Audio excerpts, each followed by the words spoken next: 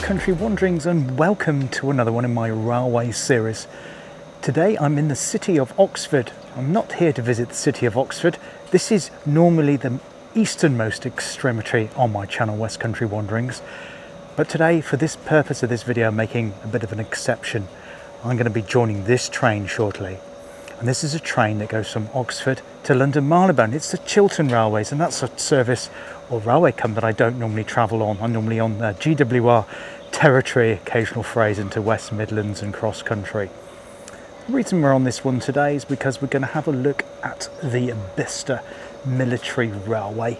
So we're taking the train out to Bicester. Now Bicester is a town I used to work in so I'll show you where I used to work there, tell you about that as well. And hopefully we'll be able to have a little tour of this Cotswold town here, which lies in the eastern extremity of the Cotswold region. The reason this video has come up today is just over a week ago, I did a, one of my Cotswold walks. I went to the village of Charlbury, which is on the Cotswold line, which heads north and then towards the west of here of Oxford. And during the course of that walk, suddenly Oxford, Oxfordshire came into my head. Of course, Charlbury is in Oxfordshire, and I thought, Bicester Military Railway. Perhaps my people might be interested in this video, or this railway, should I say? And indeed, you replied in the comments to that video in great numbers. A lot of you are interested in this railway. I've no idea what we're going to see today, so why not join me on this journey here on West Country Wanderings, looking for the Bicester Military Railway.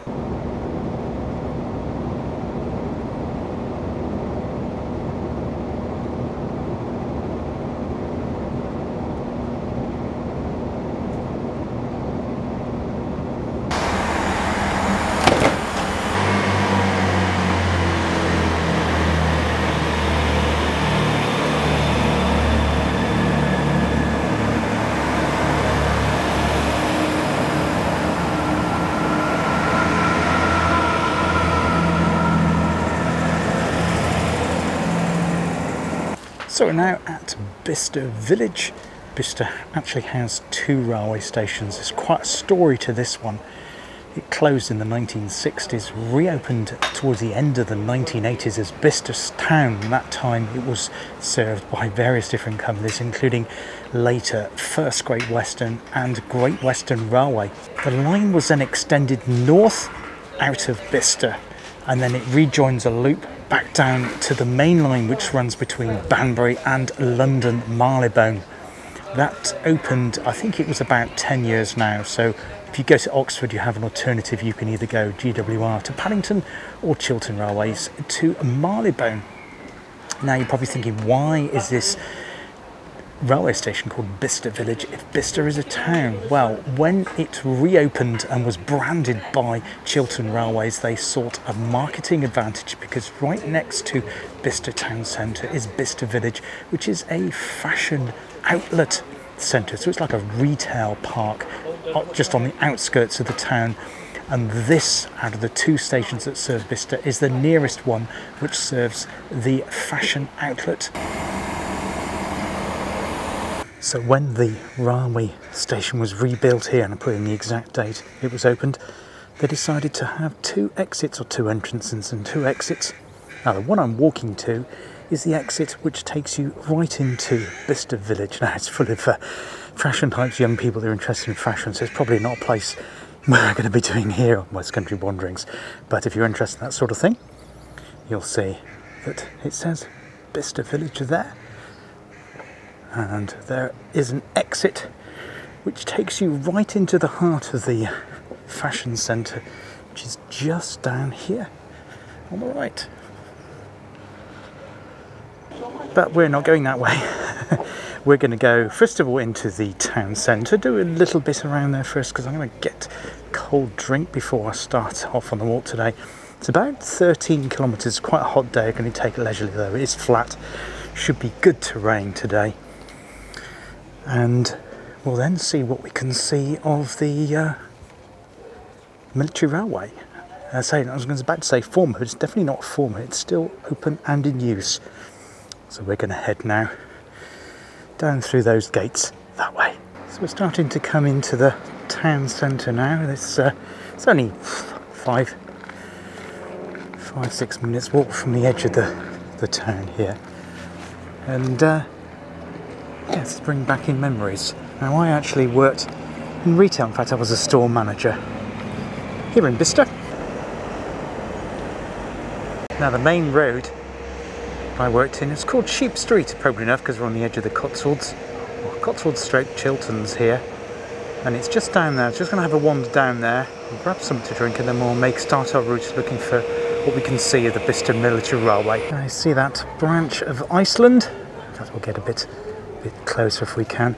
That was where I worked. It wasn't Iceland then. Oh no. It was a branch of a well-known high street chain. So there we have the famous sheep in Sheep Street here. Yes, and that uh, branch of Iceland was indeed a former branch of Woolworths. Yes, I worked for Woolworths from 1995 to 2002. I started off as a training assistant manager in Penzance. I became store manager of Woolworths in St Ives. Did that for about five years, and then I was promoted to this store. This was one of the biggest stores in the region. Um, it was in the western region. Uh, this store, uh, also in the Thames Valley district, and it had a quite a big, sizable turnover. And one of the problems we had well, when I took over was recruitment because the Bicester Village hadn't long opened, and they were actually paying more per hour than what Woolworths were paying, or indeed all of the other stores along this uh, lovely Sheep Street here in Bicester.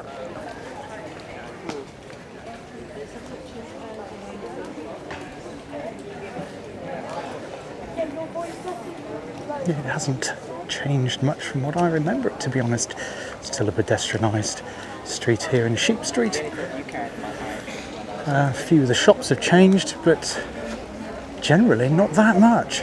It's good to see that despite the uh, Bicester Village being right next door, there tends to be the local people from Oxfordshire that shops here rather than the people trekking up from London that uh, shop here in the centre of town. Uh, so Bicester Village itself, the outlet, is uh, a very, very different place to this indeed. This is the back of the former Woolworths store. Now, of course, Iceland, I remember getting in deliveries going into there from Swindon Distribution Centre.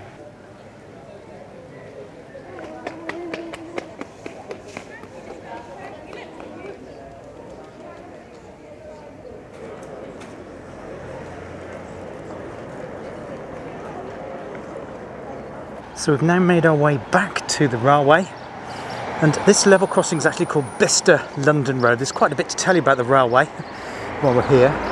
And I do believe before it was called Bicester Town, when it closed, before it closed in the 1960s, the station was actually called Bicester London Road. So we're crossing over this now, quite a busy line now, and uh, double track was single single track when I was last here. That there is Bicester Village Station, where we started our journey earlier today. Sorry if it's wobbly, and I do apologise for the uh, the soundtrack today because we are close to roads for quite a bit of our explore. But uh, I have done a bit of. Cl- well, I got my microphone, my uh, Lavalier on, fluffy Lavalier, to try and get a bit closer to cut down on some of the traffic noise. I'm heading to a village called Ambrosden, which is about two, two and a half kilometres outside of the town. We'll put up a map. I am doing a circular walk today our first destination is the level crossing in Ambrosden. And before we get to Ambrosden, we should be walking parallel to the outside perimeter fence of the Bicester Ordnance Depot. And shortly after that, I'll stop, put my tripod up, and do a bit of pace to camera properly to tell you more about the history of this fascinating railway here in Bicester in Oxfordshire. The former military site here part of it. This is Graven Hill, by the way. I put a map up now. The hill itself is beyond there. They've MOD have sold off some of the land here for new development. There's some new apartments there, and the uh, actual site there. So just beyond that, there was some former warehousing, which was connected to the Bicester Military Railway. There's no sign of the railway at this point, so we're going to continue our journey. But this is location number one, Graven Hill. Apologies for the uh, traffic noise. It is really, really loud here. But this fence here is the perimeter of the Bicester Ordnance Depot, and that's of course where the railway lies. Have put up green sheeting as well to make it really difficult to see. I can't see any railway bits and pieces in there at the moment, but I'm hoping to, we can see a bit of it when we get to Ambrosden. I am keeping my eyes peeled though. That's not great, but you should be able to make out the trees in the distance through the green slatting there. That is Graven Hill itself, and this was the former MOD site. At this point, this part of it, as I say, has been sold off, but a lot of it is still in use. There's a gap in the fence there. I'll put it in manual focus a minute. Uh, spider web in the web. Uh, there we go. I think that's in focus now. just see that there. That's Graven Hill. Uh, that's a better view of it, best as I can get. But as I say, there's no railway at this point anymore. So, but hopefully there should be another part. That would have been uh, one of the main entrances into Bicester Ordnance Depot there with Graven Hill in the background. There we have some rails. See if I can get a bit closer. Obviously the perimeter fence is there. I can't film beyond that because I'll be arrested under the Official Secrets Act. So this is Bicester site here. And obviously this is part of the railway that is no longer used. But the railway is still extant. And the railway to the Graven Hill site went along there between those two willow trees, but you can see the tracks clearly here in the road. They're there, and then they went through that gate there, across to that site there, but uh, that's the main entrance there to Bicester. So there's our turning to um, Ambrosden, you can see the sign there, And MOD Bicester, all HGVs go straight on. Again, once again, I do apologise for the road noise because I know road traffic is really distracting and very loud. But I'm doing my best with the sound to mute that as much as possible to being close might. So yeah, so um, Ambrosden is one mile down to the right. So we're going down there. And when it gets a bit quieter, I'll give you some more information about the railway. It's been a bit too noisy. I can't even think straight at the moment with this traffic. Well, that's a bit of a blessing. This road to Ambrosden is currently closed to traffic, but not pedestrians. Another good reason why I came here on the train and not the car. In fact, it would have been impossible to have filmed anything what I've filmed so far from a car because there's nowhere to park by the side of that busy road. And if you're wondering why the roads around Bicester are so busy, I seem to remember they were pretty busy. I think they got a lot busier though. Is because oh, there we go. We've got a road to ourselves. I'll just show you that. It's a rare thing, isn't it? A rare thing. There, an empty road. You don't see that too often here. Um, yeah, the, unfortunately, or fortunately, depending, I mean, it's good for employment. Bicester is quite close to the M40, and uh, because of that, a lot of distribution centres have sprung up in this area. Uh, just seen an Ocado, O-C-A-D-O, I think that's how you pronounce it, one of those food online retailers. Ocado warehouse just next to that busy road. But here we're coming into some lovely Oxfordshire countryside now. This is more the sort of thing you see on West Country Wanderings, not busy towns. But yeah, so I'm starting to calm down. I was, well, I, I felt okay in Bicester actually in terms of anxiety because I suppose I'm quite familiar with the town and it really hasn't changed very much, the town centre, glad to report. And the people there are very friendly. There was a couple of pedestrians that were walked in front of the camera I was filming and they're like, oh, sorry, excuse me. very apologetic. Uh, I doubt if you get that in London or anywhere, indeed many other places. And uh, lady showed me the way because I couldn't remember how to get back to the high street from around the back of where Woolworths was. Showed me through this little cut through alleyway next to a social club where they, I think they had football on or something because it's a Saturday afternoon here in July.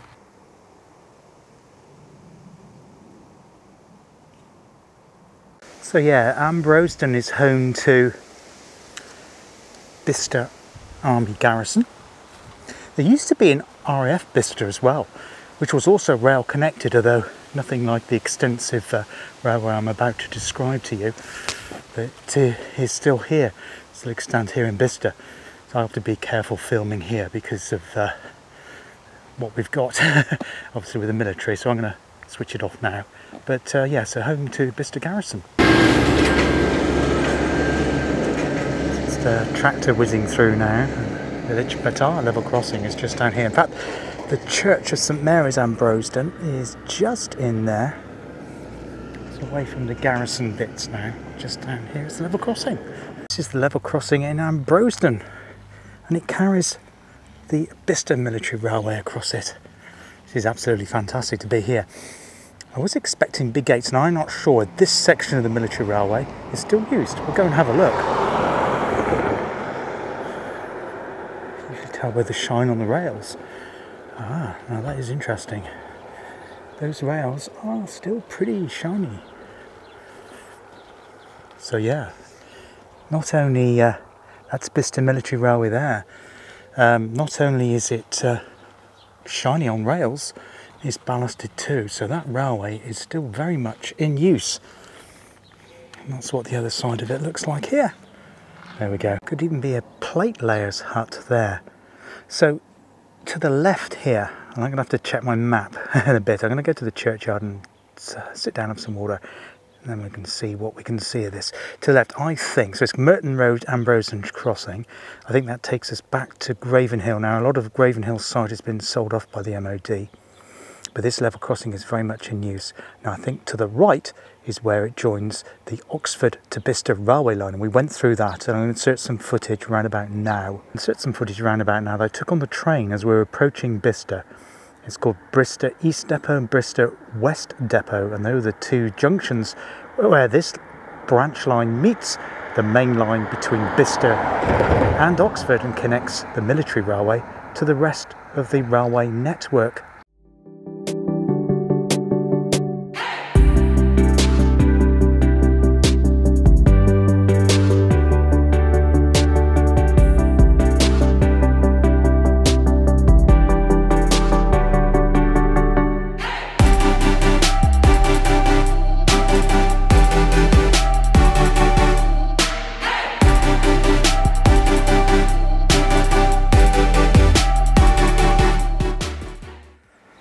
Set of gates and you can see there not exactly usual British rail type of gates. They are metal. They are all metal gates here with really heavily engineered hinges there and posts. Fantastic. Surprised the gate here is open as well. I was expecting great big fences to stop people travelling onto the track because if it's obviously it's a military installation. I'm trying to get off the road. We've got the busy road behind me going through Ambrosden but yeah wonderful Ambrosden level crossing on the Bicester Military Railway.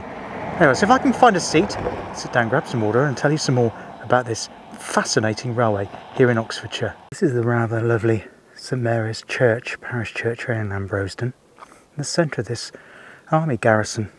Well, there's other housing here as well, not just army, but uh, a lot of it's made up of uh, army personnel. See if I can find somewhere to sit to tell you some more about the railway. Now, the Bicester Military Railway is entirely run and owned by the Ministry of Defence, which is why information on it is rather scarce. Before I continue, there is a book, and I'll put the details below, which I believe was published around 1992 by the Oxford University Press. I can't remember the name of the gentleman's name that wrote it, think it's Roger, but I could probably got that wrong.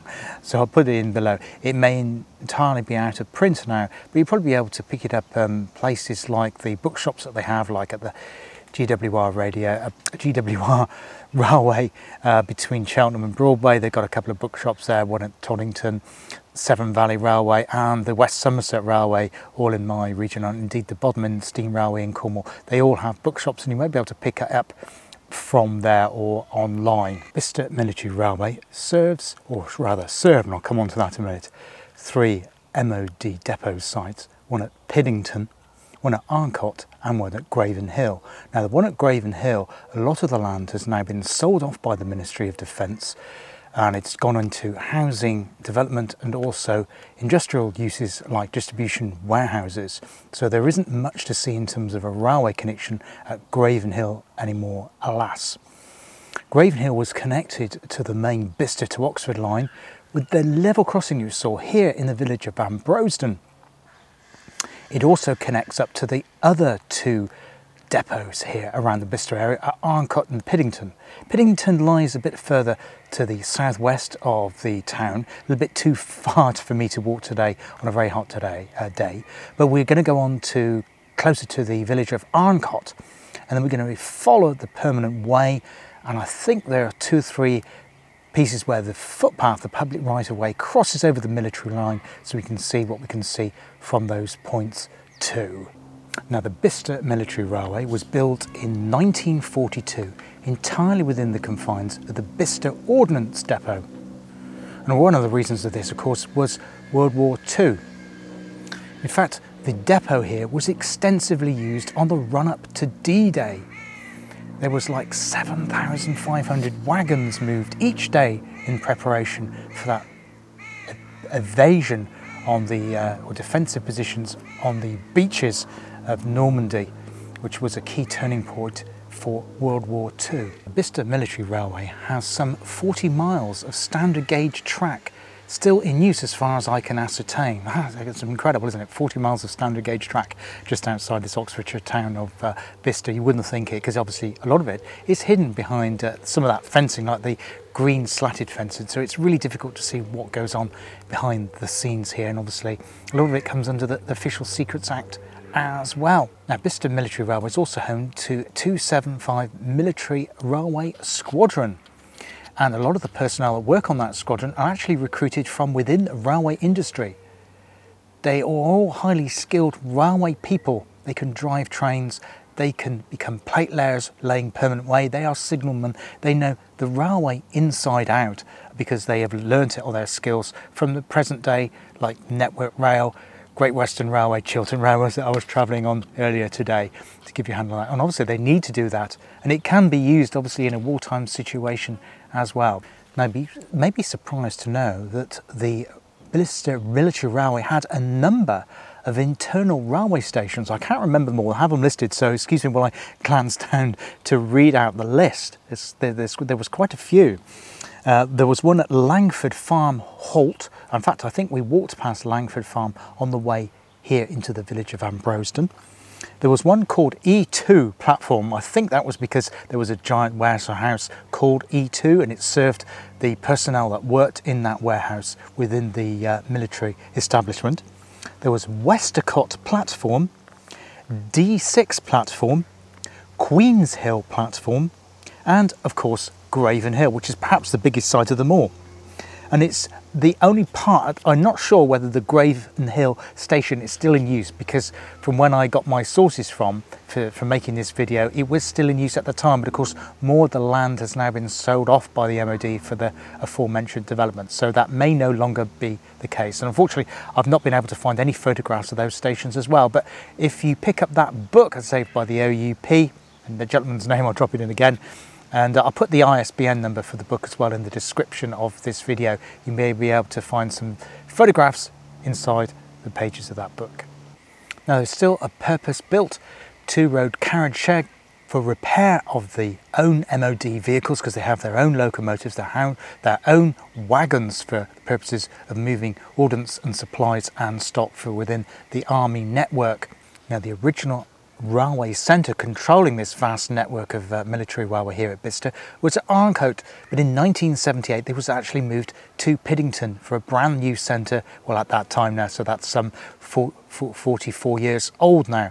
But as far as I can ascertain, the site is still at Piddington. The whole of the site here at Bicester is now known as DSDC Bicester, Defence Storage and Distribution Centre, Bicester. So I'm now on the edge of the village of Arncott, and this is the Arncott depot. And as you can see, the military railway here is very much in existence. That's military, obviously the other side of the fence. And excitingly, we have a military signal box here. Oh, I can't, I can't believe I decided this. this is absolutely fantastic. So yeah, I'm just going up to that now, and it is just called Arncott Signal Box. Oh, wow.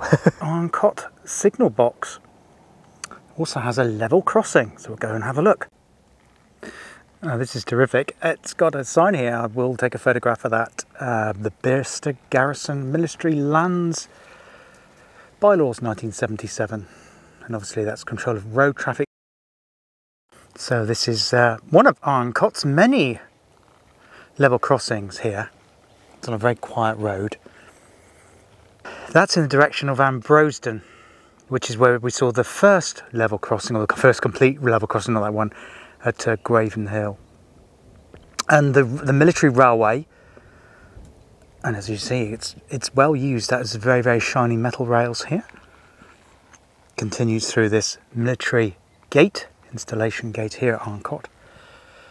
down through there, and you can see actually somebody in the grounds of the uh, the yard down there as well. But that's uh, the Arncott signal box there as well. So I sorry I can't get any closer than that. But you can see at this point the line divides three ways after this level crossing. The mid road doesn't look like it's much used, but it certainly diverges left and right and I'll now include the OS map so you can get your bearings with that too. I'm going to head now back into Arncott itself to see what we can see in the rest of this village here in Oxfordshire. So this is the Arncott site. It has a perimeter railway running right close to the border fence there. You can see the old telegraph poles there as well and it comes up to a level crossing here. Through the fence. Hopefully it will focus shortly. There it is. As close as I can get, but that's the site, the railway running round Arncott. Now this first level crossing the Martinez is no longer in use. This bit's been taken out of use here. But the second one looks like it still is. Um, so the railway, the rails are still in the road here. Would have gone through that fence there. But something well worth doing the walk on a hot day for here. That must be the remains of Arncott's station. Remember I said when I was talking in the churchyard about the former stations on the military railway and that's the platform for Arncott station here on the Bicester military railway. That's absolutely fantastic. Didn't think I was going to see that. Wonderful.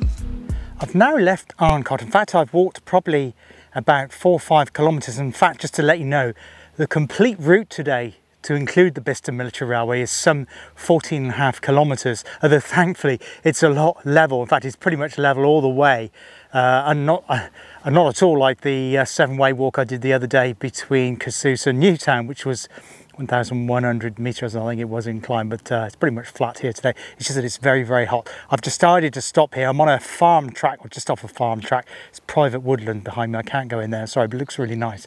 I'd love to because get some shade, but there's no shade here, sadly. Um, I'm about 2k off the edge of Bicester Town Centre. What we should see in a minute there should be a footbridge that goes over, or maybe a track bridge, a farm bridge that goes over the main Chiltern railway line between Oxford, Oxford Parkway, which is just before uh, Bicester Village Station.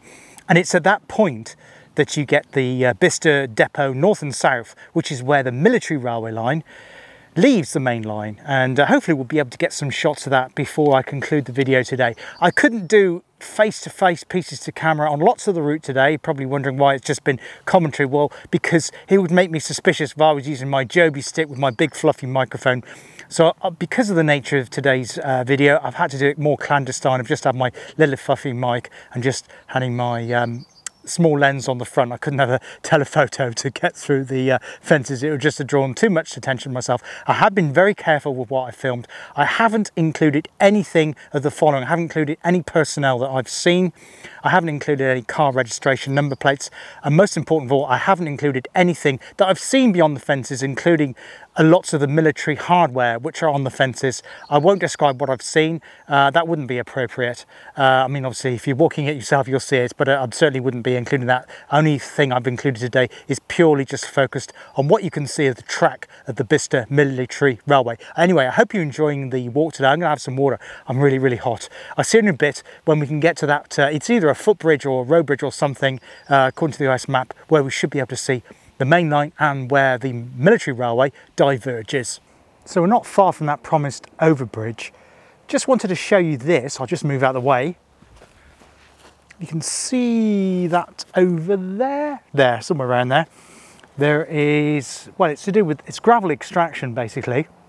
And it's just to say that that connection to the mainland, when I said about depot junctions north and south, just to the south of Bicester Village Railway Station, isn't the only use for the line at that point because the military railway branches off a little bit further away after it crosses over the bit where there is a gravel extraction depot, which is also railway served. Now, a bit of bad news, I'm afraid. There used to be a foot crossing at this point called Langford Lane from crossing. Interesting to note, it says Oxford Bletchley. And it says that for a very good reason. And I'll explain about that shortly. The area is controlled by Marylebone North Workstation, which is interesting as well. So Oxford to the left, Bletchley to the right, and it's just to the right of this point is where the line split for the depot, for the gravel depot line, the Bicester Military Railway. I'm sorry I can't show you anything further at this point because I'm going to have to make my way backtrack a bit to get to there. But I think the reason they've closed this is because this line speed now is 100 miles an hour and it'd probably be dangerous to have line speed 100 with a foot crossing it here because this is a very busy line.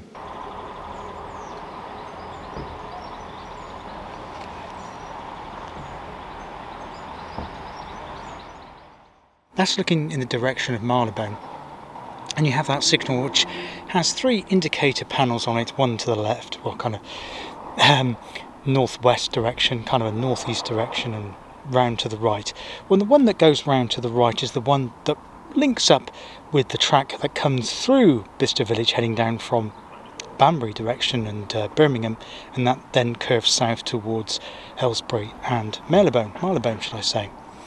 The one in the centre is the one of interest because that line continues on. In fact, it continued on, should I say, all the way through a place called Steeple Claydon, Winslow, right through to Milton Keynes, in fact, to Bletchley. Now, at Bletchley, they're currently building a flyover to reopen this line all the way from Oxford to Cambridge again. It's called the Varsity Line, also known as the East West Link. It's seen as a key driver of business and economic dro- growth in the kind of northwestern quadrant of the southeast economic region, if you like. So it, again, it closed in the 1960s, like all of these lines. The the line, as far as I know, is still in existence. I'm just looking at the OS map now, all the way through to Milton Keynes, um, and it just is just marked disused. I believe it's overgrown in sections, but I think some of the line and the track is there. If anybody knows the update on the situation with the East West link and how far they're getting on with reconnecting the university cities of Oxford and Cambridge once more, I'd love to hear from you in the comments below.